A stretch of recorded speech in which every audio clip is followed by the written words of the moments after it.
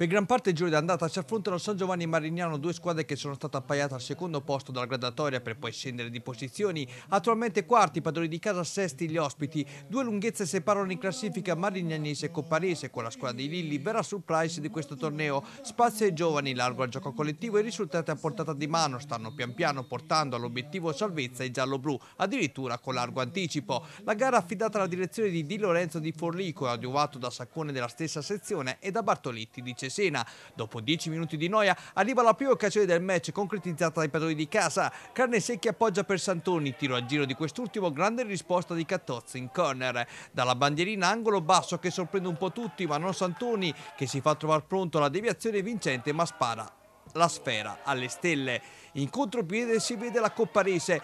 Fida allarga di più intenzione senza guardare in direzione Manzini, qui traversone a favore di De Angelis diviene un'occasione ghiotta per il numero 8 murato opportunamente dalla retroguardia di casa.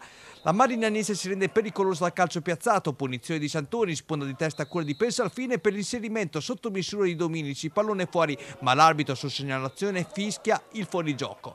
Rimessa laterale di Teloli, palla Mironsev, pallone alzato sopra la traversa dall'attento Azzolini. La Marignanese usa l'arma del contropiede, ma la sgaloppata di carne secchi finisce largamente al lato. Lo stesso numero 7, protagonista poco dopo, con questo pallonetto a cercare di scavalcare Cattozzo, ma la sfera non si alza abbastanza con i portieri che bloccano senza patemi. Termina qui il primo tempo sullo 0-0. Nella ripresa da calcio piazzato, padrone di casa subito avanti, ma Dominici manca l'appuntamento per colpire i palloni di testa. Fide invece dall'altra parte chiama la presa a terra Azzolini. Marinanese protagonista, la discesa di Santoni finisce per spegnersi tra i guantoni di Cattozzo quando due compagni più liberi reclamavano il pallone.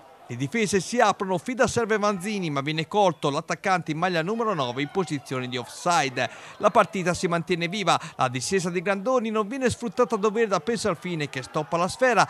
Sistema il pallone ma calcia debolmente in bocca a Catozzo. Ci sarebbero gli estremi poco dopo per il rigore.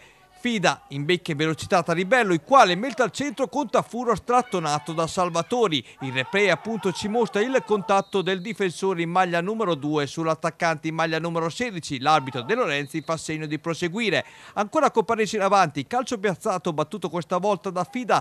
Tafura domestica la sfera, si gira ma conclude alto. Dall'angolo ennesimo pericolo a corso dalla Marignanese, Fida scodella al centro, la difesa giallo-blu allontana il pericolo sul piede di Aguiari che manca il gol per una questione di centimetri. Termina qui la partita con le squadre bloccate sullo 0-0.